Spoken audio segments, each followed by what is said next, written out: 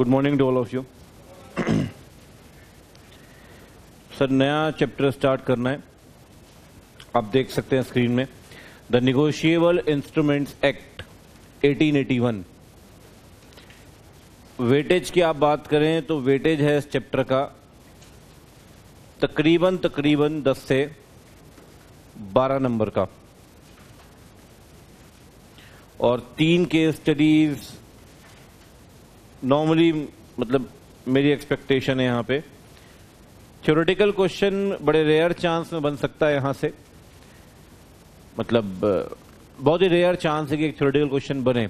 Question आएँगे case studies और चार चार नंबर की तीन केस स्टडीज़ अभी ज़्यादा अटैम्प्ट तो हुए नहीं है नए सिलेबस को। तो बहुत स्ट्रांगली मैं ये नहीं कह सकता कि हाँ सर, ये पैटर्न है। ठीक है? उम्मीद है, जो पिछले ट्रेंड को देखते हुए दो तीन अटेम्प्ट को अब ये मान के चलें कि तीन केस स्टडीज़ यहाँ से बनेंगी, चार चार नंबर की, बारह नंबर के आसपास का रफली वेटेज रहेगा। ठीक है? ध्यान से समझते हैं, पढ़ते हैं आप रिवाइज करते हैं होमवर्क करते हैं तो तीनों केस स्टडीज़ क्रैक कर सकते हैं। मतलब बारह में से नौ दस नंबर लाना कोई बड़ी बात नहीं है। और अगर आपने निगोशिएबल को लाइटली लिया तो मैं पहले भी कह चुका हूँ आपसे, सर, फिर निगोशिएबल में एक भी एक भी केस स्टडी आप नहीं कर पाओगे। मतलब फिर वो जो आंकड़ा है बारह में से वो आगे सीधे ज़ीरो पे गिरेगा। क्योंकि निगोशिएबल में बीच का रास्ता नहीं है। या तो बनेगा या नहीं बनेगा। ठीक है, बनता है तो ठीक, नहीं बनता तो फिर शून्य। फिर आज पेपर दे रहे हैं, वो सौ का नहीं, एटी एट का मान के चलें। ठीक है? और, अब तो एमसीक्यू की बात भी है। तो आप ये मान के चलें कि एमसीक्यू यहाँ से दो तीन दो तीन एमसीक्यू की मुझे उम्मीद है इस चैप्टर से। जरा तो नहीं कह सकता, लेकिन हाँ दो एमसीक्यू मोटा मोटी बनने चाहिए। ठीक है ना? चलिए, अब स्टार्ट करते हैं। अब थोड़ा बहुत बेसिक आपको पढ़ाऊँगा स्टार्टिंग कुछ पैंतालीस, पचास मिनट में। उसके बाद आगे बढ़ेंगे इसमें। मोटा मोटी मान के चलिए तो छः या सात लेक्चर इसमें खर्च होंगे। ठीक है निगोशिएबल इंस्ट्रूमेंट एक्ट के अंदर। करीब करीब पचास पेज मैंने दिया हुआ है और पचास से ऊपर केस स्टडीज़ हैं। पास्ट ईयर क्वेश्चन ठीक है मतलब कॉम्प्रिहेंसिवली इसको पढ़ना है, क्योंकि समझने लायक सर बहुत सारी चीज़ें हैं इसके अंदर। ठीक है तो स्टार्ट करते हैं। भी कुछ सेक्शन वगैरह मैं आपको नहीं पढ़ा रहा हूँ। सिर्फ़ एक्ट का नाम लिखता हूँ और एक्ट के नाम से कुछ बेसिक डिस्कशन हम करते हैं। मैं यहाँ पे लिख देता हूँ the negotiable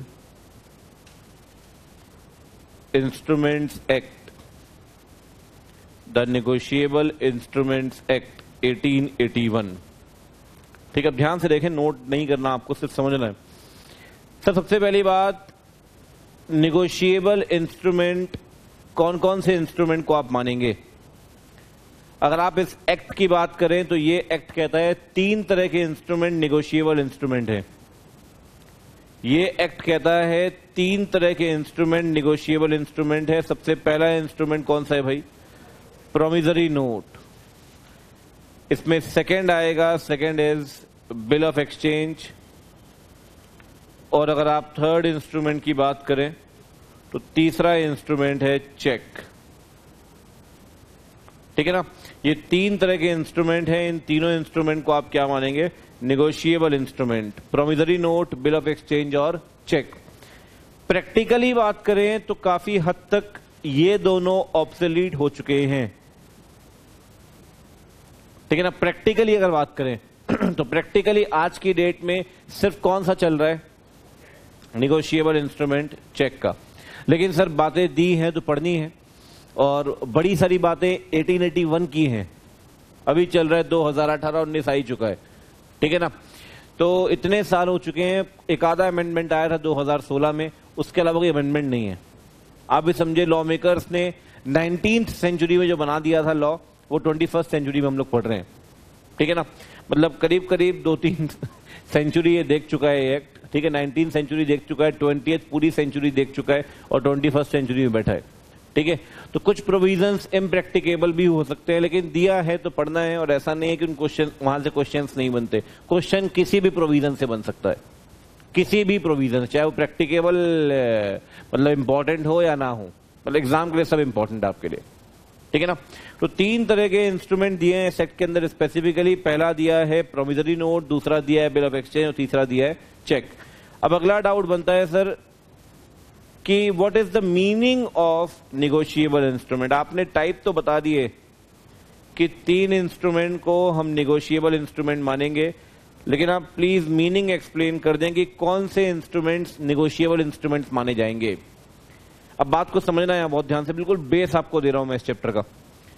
सबसे पहली बात, अगर कोई भी इंस्ट्रूमेंट ट्रांसफरेबल है फ्रीली ट्रांसफरेबल मतलब मैं इनको दे सकता हूँ, या किसी और को दे सकते हैं, किसी और को दे सकते हैं the instrument is freely transferable sir, कितनी बार ट्रांसफ़र कर सकते हैं? कितनी बार भी आप ट्रांसफ़र कर सकते हो there is no limit on the number of transfer transfer पे कोई लिमिट नहीं है, sir. Negotiable instrument is transferable infinitum आप निगोशिएबल इंस्ट्रूमेंट को सौ दफ़ा ट्रांसफ़र करें, कोई दिक्कत नहीं है। आप कितनी मर्ज़ी बार ट्रांसफ़र करें, कोई दिक्कत नहीं है। कहीं ये नहीं लिखा एक्ट में कि 10 बार ही ट्रांसफ़र कर सकते हो 20 बार ही ट्रांसफ़र कर सकते हो। आप जितनी बार ट्रांसफ़र करना चाहें, आप कर सकते हैं। तो दो पॉइंट अभी तक बता चुका हूँ। पहली बात the negotiable instrument is freely transferable and the second point is it is transferable infinitum infinitum means कितनी बार भी आप ट्रांसफ़र कर सकते हैं for infinite times for infinite times ठीक है ना? तो दो कंडीशन यहाँ लिख सकता हूँ। पहली बात, कोई भी इंस्ट्रूमेंट निगोशिएबल कब बनेगा? जब वो इंस्ट्रूमेंट क्या है? Freely transferable second is that instrument is transferable infinitum that instrument is transferable infinitum कितनी बार भी ट्रांसफ़र करिए, कोई दिक्कत नहीं है उसमें। ठीक है ना? अब ध्यान से देखें। आगे के एक दो पॉइंट्स बताने के लिए मैं आपको दो तीन एग्जांपल्स दे रहा हूँ। पहले एग्जांपल को समझेंगे, उसके बाद थर्ड पॉइंट में क्या आएगा उसको वर्कआउट करेंगे। फोर्थ पॉइंट में क्या आएगा उसको वर्कआउट करेंगे। ठीक है तो एग्जाम्पल्स आपके सामने रख रहा हूँ एग्ज़ाम्पल से आप देखना। मैं यहाँ पे लिखता हूँ इलस्ट्रेशन और ये बेसिक इलस्ट्रेशन है निगोशिएबल इंस्ट्रूमेंट को समझने के लिए। देखिए फॉर एग्ज़ाम्पल मिस्टर ए एक पर्सन है। इनका अकाउंट है किसी बैंक में for example account in Axis bank Lajpat Nagar branch ठीक है? इनके सुपुत्र हैं mister B he is the son of mister A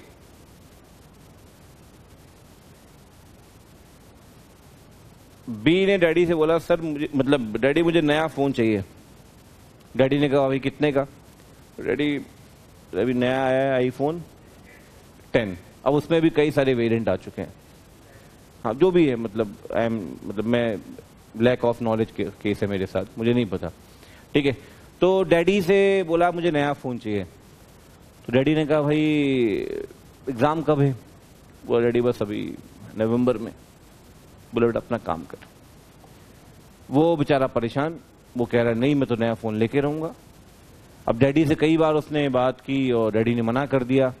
finally एक दिन वो डैडी के कमरे में प्रवेश करता है और उसके हाथ एक चेकबुक लगती है।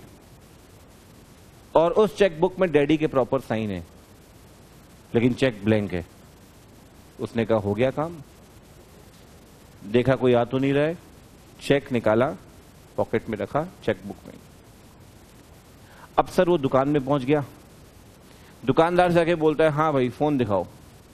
दुकानदार कहता है, कौन सा फ़ोन बोले जो सबसे महँगा फ़ोन है, वो दिखाओ। तो दुकानदार कहता है, यार, शक्ल देख के तो लग नहीं रहे पैसे दे पाएगा। दुकानदार कहता है, पैसे हैं आपके पास? बोले, आपको बोला सबसे महँगा फ़ोन दिखाओ, टेंशन क्यों ले रहे हो? दुकानदार ने फ़ोन दिखाया, उससे पूछा, कितने का फ़ोन है? दुकानदार कहता है, एक लाख रुपए का। कहता है, ये लो। एक लाख रुपए भर दिया और नाम भर दिया, दुकानदार को दे दिया। सर, पहला क्वेश्चन क्या चेक को लेकर बी के पास वैलिड टाइटल है? And what is the meaning of title ownership क्या बी ने चेक प्रॉपर तरीके से लिया है? क्या चेक की डिलीवरी आपके पास लॉफुल तरीके से आई है? आपने चेक चोरी किया है सर आपने चेक चोरी किया है। आपका टाइटल वैलिड नहीं कहलाएगा। आपका टाइटल क्या कहलाएगा? डिफेक्टिव टाइटल बी का जो टाइटल है, मैं यहाँ लिख सकता हूँ title of mister B will be defective title ये टाइटल कैसा होगा? डिफेक्टिव टाइटल अब अल्टीमेटली आप किसके पास पहुँच गए भाई चेक लेकर? आप पहुँच गए मिस्टर सी के पास। अब ये मिस्टर सी, ये क्या है भाई? ही इज़ द शॉपकीपर अब ध्यान से देखना इस पॉइंट को। बहुत इंपॉर्टेंट बात कर रहा हूँ मैं। इस शॉपकीपर ने आपको क्या दिया है? मोबाइल फ़ोन इस शॉपकीपर ने आपको क्या दिया है? मोबाइल फ़ोन बदले में आपने क्या दिया है इसको? चेक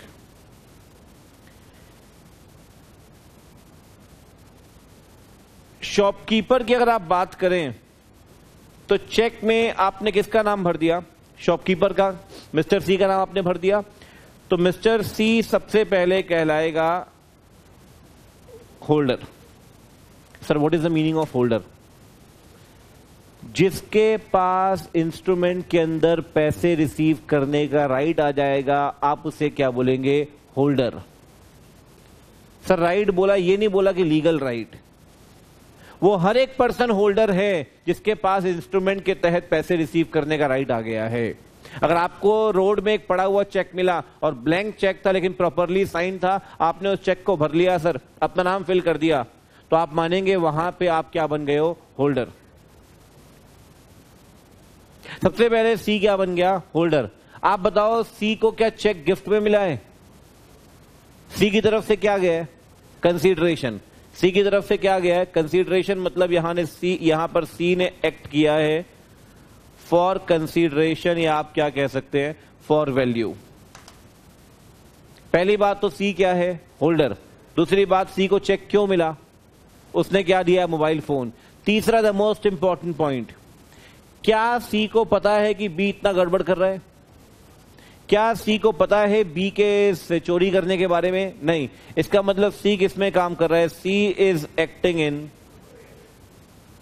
good faith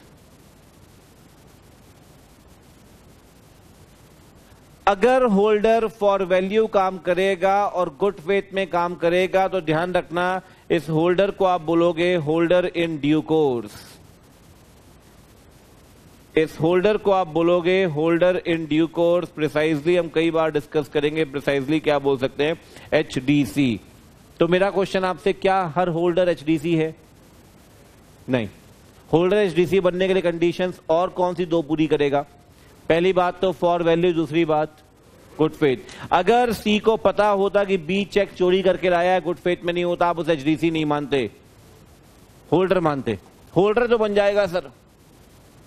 अगर सी को आपने चेक दिया होता गिफ्ट के तौर पे तो एचडीसी नहीं कहलाता रीजन बीइंग एचडीसी बनने के लिए आपको इंस्ट्रूमेंट कैसे मिलेगा? इंस्ट्रूमेंट आपको मिलेगा फॉर वैल्यू इतना क्लियर है? मैं यहाँ पे लिख सकता हूँ, भाई अकाउंट आपका एक्सिस बैंक में है, इनका एक चेक रखा था। Cheque was properly signed sign थे मिस्टर ए के और चेक को चोरी कर लिया। किसने चोरी कर लिया, भाई? B steals the check. घर में ही दुश्मन बैठे हैं आपके। ठीक है? तो बी ने चेक चोरी कर लिया और सी के पास लेकर गया। मेरा क्वेश्चन आपसे द मोस्ट इंपॉर्टेंट क्वेश्चन क्या सी के पास वैलिड टाइटल आएगा? सोचकर, समझकर आंसर कर। क्या सी के पास वैलिड टाइटल आएगा? सर निगोशिएबल इंस्ट्रूमेंट का यूनिक फीचर यही है। सेल ऑफ़ गुड्स एक्ट में आपने बचपन में पढ़ा होगा। नेमोडेट कॉड नॉन हैबिट क्या बोलता है वो? जिसके पास वैलिड टाइटल नहीं है, वो आगे वैलिड टाइटल आगे ट्रांसफ़र नहीं कर सकता। उसका एक्सेप्शन है निगोशिएबल इंस्ट्रूमेंट भले ही बी के पास वैलिड टाइटल नहीं है, लेकिन सी वैलिड टाइटल एक्वायर करेगा। सी के पास वैलिड ओनरशिप जाएगी। क्योंकि सी क्या है? एक होल्डर इन ड्यू कोर्स। हमेशा ध्यान रखें, आप इंस्ट्रूमेंट को तभी निगोशिएबल मानेंगे जब वहाँ पर पार्टी के पास वैलिड टाइटल ट्रांसफ़र होगा, भले ही प्रायर पार्टी का टाइटल क्या होगा? डिफेक्टिव आप बताओ, सी की प्रायर पार्टी कौन है? बी बी के पास टाइटल कैसा है? डिफेक्टिव इसके पास टाइटल कैसा आ रहा है? वैलिड अगर आप एचडीसी हो, मेरी बात सुनना। एचडीसी होना और इंस्ट्रूमेंट का निगोशिएबल होना दोनों कॉन्करेंट कंडीशन है। कॉन्करेंट मीन्स अगर अगर वो पर्सन एचडीसी है तो इंस्ट्रूमेंट निगोशिएबल मानेंगे। अगर इंस्ट्रूमेंट निगोशिएबल दूसरी पर्सन को क्या मानेंगे? एचडीसी दो both are the concurrent condition अगर आप एचडीसी हो तो आपके पास वैलिड टाइटल आएगा। भले प्रायर पार्टी के पास टाइटल कैसा होगा। डिफेक्टिव और अगर ऐसा हो रहा है किसी इंस्ट्रूमेंट में, और अगर कोई ऐसा फीचर है इंस्ट्रूमेंट में तो इंस्ट्रूमेंट को आप क्या मानेंगे? निगोशिएबल अगर कोई इंस्ट्रूमेंट इस लायक है कि डिफेक्टिव टाइटल को बदल सकता है किसमें? वैलिड टाइटल में तो वो इंस्ट्रूमेंट क्या है? निगोशिएबल ये है थर्ड पॉइंट ये है थर्ड फीचर पहला फीचर क्या था? फ्रीली ट्रांसफरेबल सेकेंड क्या है? ट्रांसफरेबल इन्फिनिटम थर्ड क्या है? It will it will turn the defective title into a valid title but subject to the condition that a transferee must be a holder in due course. Transferee क्या होना चाहिए? HDC और HDC कब मानेंगे? जब वो तीनों कंडीशन पूरी करेगा। तीनों कंडीशन कौन कौन सी?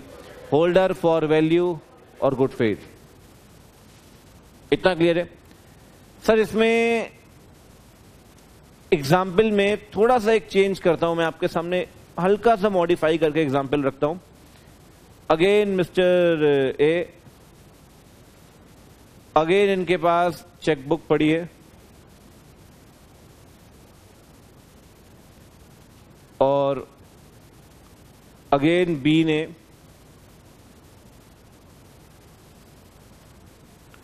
चेक चोरी कर लिया।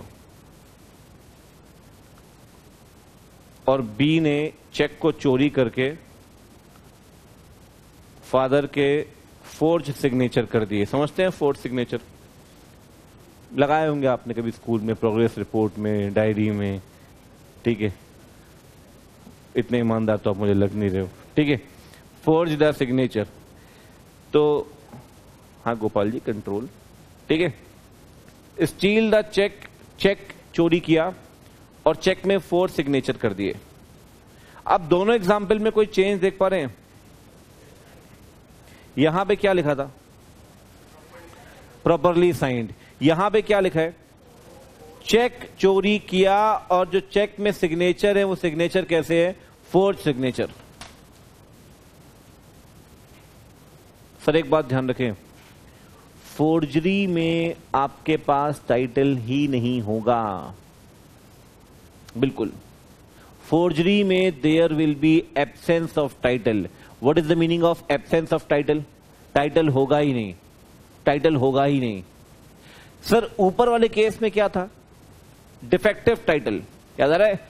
ऊपर वाले केस में क्या था आपके पास? क्योंकि साइन तो था. बस आपने चोरी किया है चेक को. यहाँ पे साइन तक नहीं है सर फादर के. साइन आपने फेक कर दिए. एक बात सोचने वाली है. फादर के फेक साइन करके दुकानदार के पास पहुँच गए. और दुकानदार को आपने चेक दे दिया, क्या दुकानदार के पास वैलिड टाइटल आएगा उस केस में? सिर्फ़ ये कहकर के दुकानदार किसमें काम कर रहा था गुड फेथ में? नहीं सर जिस चेक में साइन ही फेक है, क्या उस चेक को आप वैलिड डिक्लेयर कर सकते हैं इस ग्राउंड पे? कि भाई उस चेक के अंदर सामने वाली पार्टी किसमें काम कर रही थी? गुड फेथ में। आप कितने मर्ज़ी गुड फेथ में हो सर नो टाइटल कभी भी वैलिड टाइटल नहीं बनेगा। और नो टाइटल कब होगा? सिर्फ़ एक केस में। कौन सा केस फोर्जरी सोचने वाली बात है, पिताजी के आपने फेक साइन कर दिए। आप बोलते हो कि दुकानदार गुड फेथ में काम कर रहा है पेमेंट मिलनी चाहिए। कैसे मिलनी चाहिए सर जब साइन ही प्रॉपर नहीं है, क्या किसी फेक साइन के आधार पे आप इंस्ट्रूमेंट में बैंक को पेमेंट करने के लिए बोल दोगे? सिर्फ़ इस ग्राउंड पे कि थर्ड पार्टी किसमें काम कर रही थी गुड फेथ में मतलब ही नहीं बनता। आपने ऐसे ही कुछ पॉइंट कंपनी लॉ के अंदर भी पढ़ा हुआ आप पढ़ेंगे डॉक्ट्राइन ऑफ़ इंडोर मैनेजमेंट के अंदर।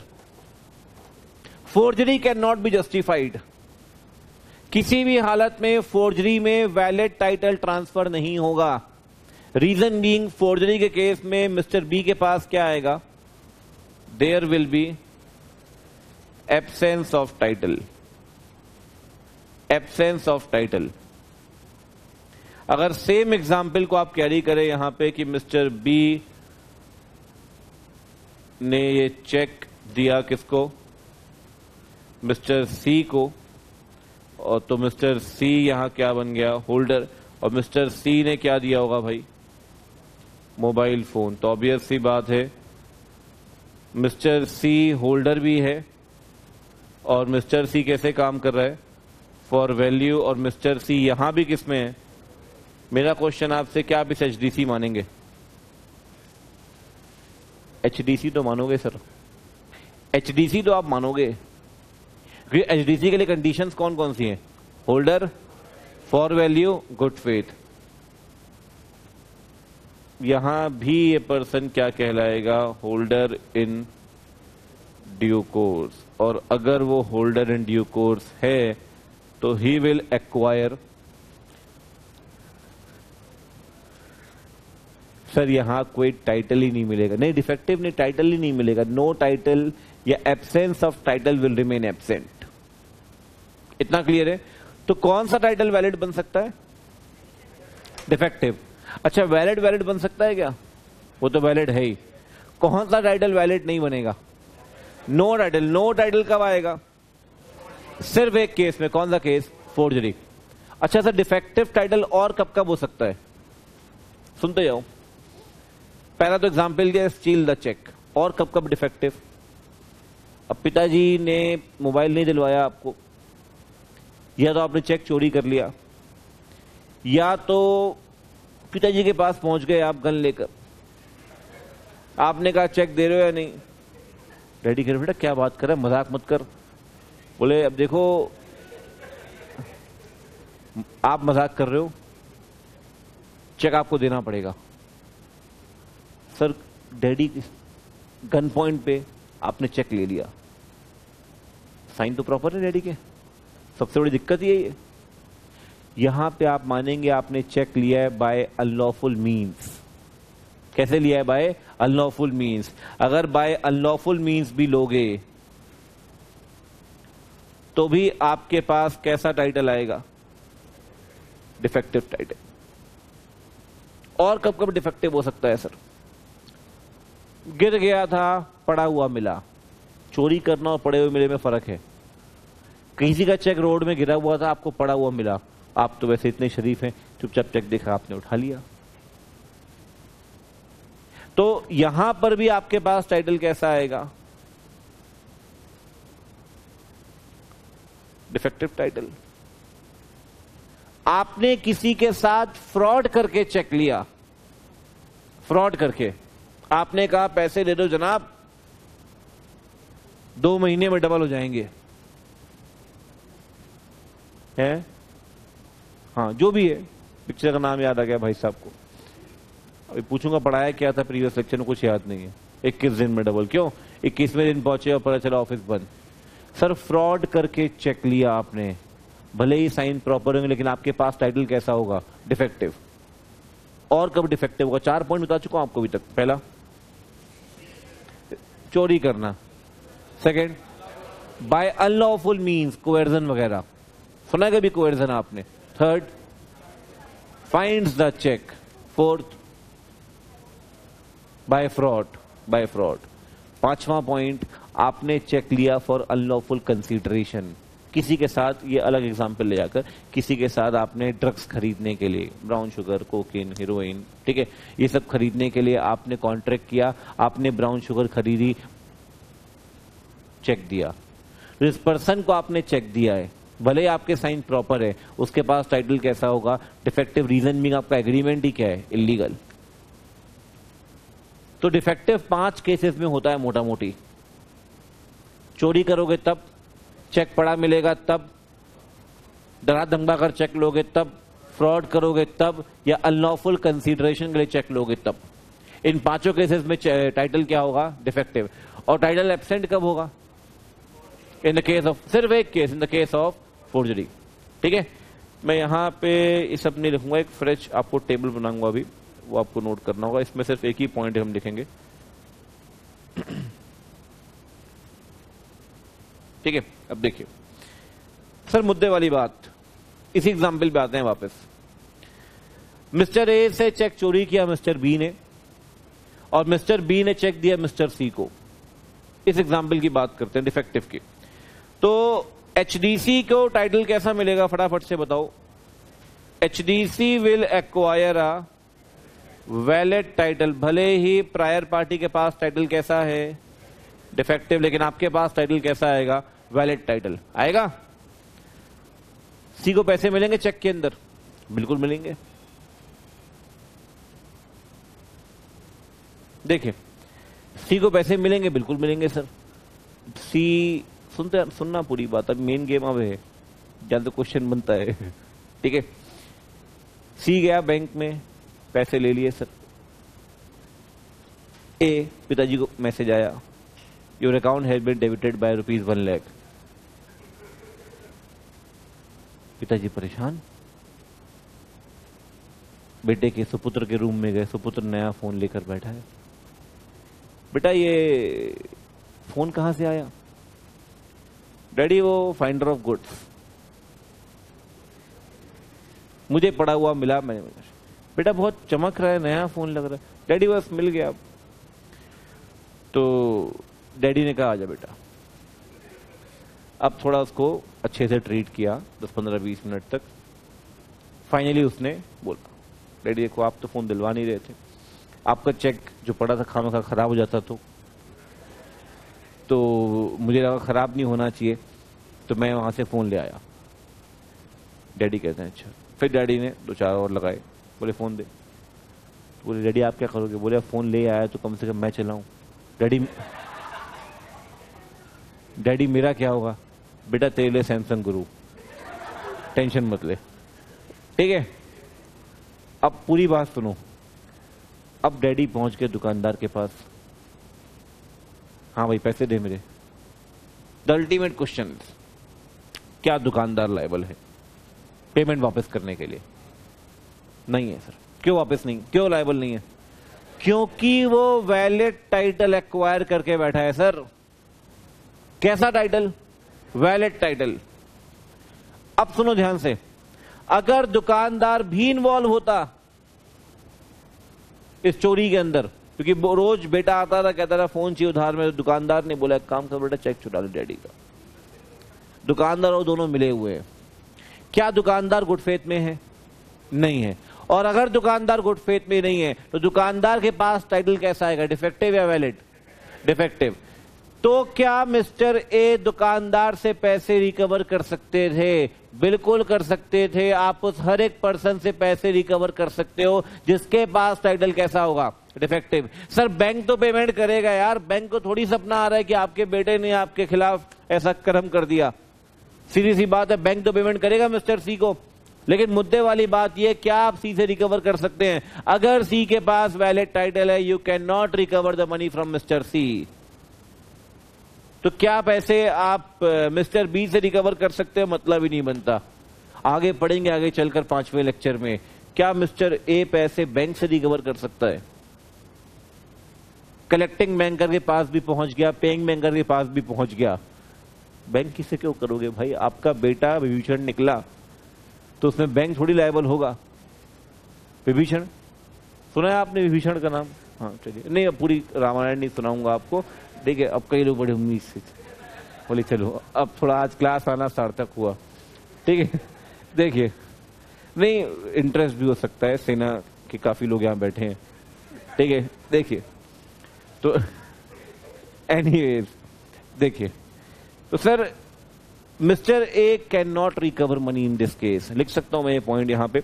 अगर आपके पास वैलिड टाइटल गया है case of valid title mister A can not recover money from mister C reason being mister C is having a valid title इतना क्लियर है? आ रही है बात समझ में? ठीक है, अब जरा इसमें मैं तीसरा फीचर क्या लिख सकता हूँ जरा बताएँ।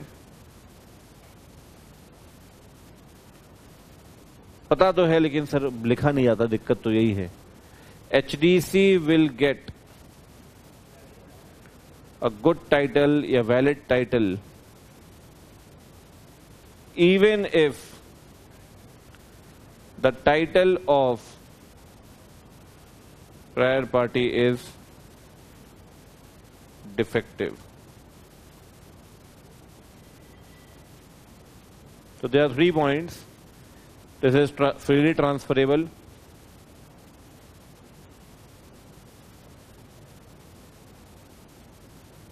Second is transferable infinitum और he will get a good title भले ही प्रायर पार्टी के पास टाइटल कैसा होगा डिफेक्टिव ठीक है?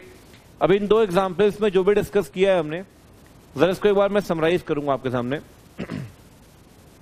क्योंकि देखो, हमेशा स्टूडेंट को कन्फ्यूज़न होता है कि सर कब वैलिड टाइटल कब डिफेक्टिव तो मैं सबसे पहले ये पॉइंट क्लियर करता हूँ कि भाई एक बात बिल्कुल ध्यान रखिए आप नेगोशिएबल में, कि इस सिचुएशन में टाइटल क्या होगा? डिफेक्टिव इसमें क्या होगा? टाइटल वैलिड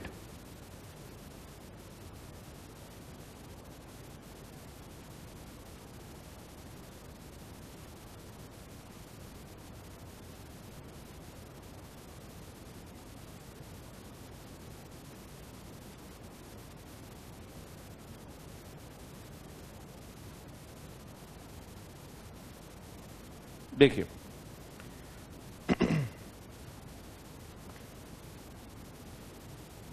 सबसे पहली बात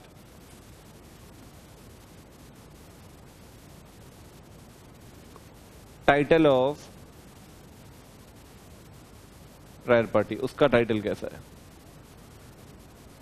Nature of subsequent party subsequent party कैसी पार्टी है? सब्सिक्वेंट समझते हैं? बाद वाली party title of the subsequent party ठीक है? देखिए. अगर प्रायर पार्टी के पास टाइटल डिफेक्टिव है, या सबसे पहले स्टार्टिंग करते हैं वैलेट से. लिख देते हैं, बात कर रहे हैं.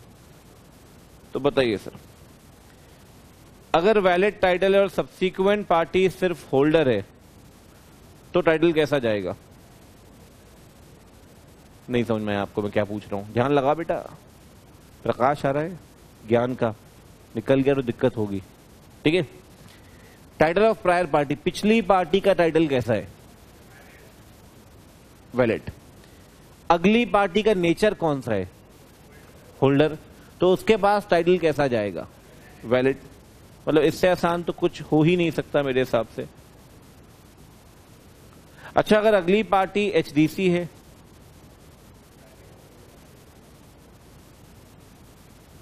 ये महावैलिड कौन बोल रहे हैं, नलायक? ठीक है, देखो। देखो, अब अगर प्रायर पार्टी का टाइटल डिफेक्टिव है सर डिफेक्टिव का रीजन दो फटाफट से। बिल्कुल सर, पहला steals the instrument. Second by unlawful means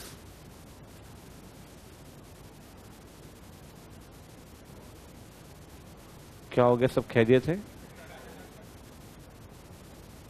third fraud finds the check for unlawful consideration, for unlawful consideration. तो इन पाँच सिचुएशंस में आप मानेंगे टाइटल क्या है? डिफेक्टिव अच्छा अगर अगली पार्टी होल्डर है तो बताओ होल्डर के पास कैसा टाइटल जाएगा? Defective will remain defective in the hands of holder लेकिन अगर आपकी अगली पार्टी क्या है? एच तो डिफेक्टिव टाइटल क्या बन जाएगा? एक वैलिड टाइटल इतना क्लियर है? अगला point this is the case of absence of title और we can say no title अब आप बताएँगे नो टाइटल कब होगा? सिर्फ़ एक पॉइंट है, कौन सा? फोर्जरी के केस में। फोर्जरी के केस में अगर अगली पार्टी होल्डर है तो टाइटल कैसा होगा? No title will remain absent और अगर यहाँ पे अगली पार्टी एचडीसी है तो अब बताओ। Again no title no title इतना क्लियर है? जो भी कुछ हमने डिस्कशन किया है, वो सारे डिस्कशंस यहाँ पे मैंने समराइज कर दिया आपके लिए। ठीक है? अब एक बार जरा रिकैप करते हैं सर कि क्या क्या हमने पढ़ा है इसके अंदर। बेसिकली सेक्शन 58 है। तो सबसे स्टार्टिंग 58 ही पढ़ाता हूँ बेसिक इंट्रोडक्शन के अंदर रीजन बीइंग थोड़ी सी क्लैरिटी होनी चाहिए sir as per my point of view तो बताएँ सर गुलशन जी, अगर टाइटल डिफेक्टिव है और अगली पार्टी सिर्फ़ होल्डर है तो क्या होगा? अरे अगर प्रीवियस पार्टी के पास टाइटल डिफेक्टिव है और अगली पार्टी अगली पार्टी एचडीसी है तो क्या होगा? वैलिड टाइटल आप बताओ, अगर प्रीवियस पार्टी होल्डर है और डिफेक्टिव टाइटल लेकर बैठी है और अगली पार्टी एचडीसी है डिफेक्टिव हाँ तो पूरा क्वेश्चन तो सुना करो मेरे मालिक। अच्छा सबसे पूछ रहा हूँ एब्सेंस ऑफ़ टाइटल कब होगा? फोर्जरी में। वो हर केस में टाइटल क्या होगा? एबसेंट चाहे सब्सिक्वेंट पार्टी आपकी कोई भी हो। ठीक है ना? डिफेक्टिव सिर्फ़ वैलिड कब बनेगा? सब्सिक्वेंट पार्टी क्या है? एचडीसी और एचडीसी कब मानेंगे आप? ये वो होल्डर भी है फॉर वैल्यू और गुड फेथ फॉर वैल्यू का मतलब पता है आपको।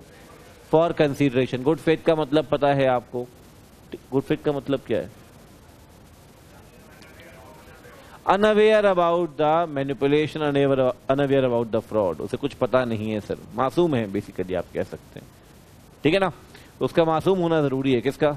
एचडीसी का। बड़े मुस्कुरा रहे हैं सर। मान सकता हूँ एप्लीकेबल नहीं आपके बड़े सेक्शन चलिए। ठीक है?